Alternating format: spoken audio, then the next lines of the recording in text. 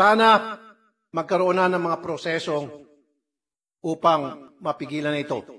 Proseso meaning, dumaan na sa tamang proses ang lahat ng pasahero, commercial man o chartered flight. What makes them so special?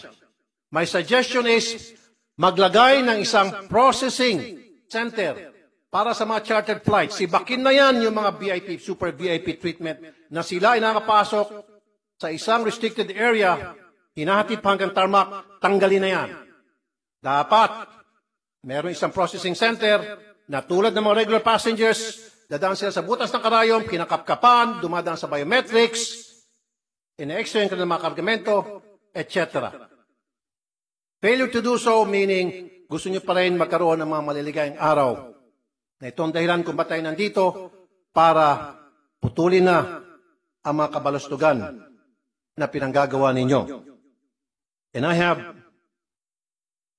another question. Who is really in charge sa pag-operate sa NAIA?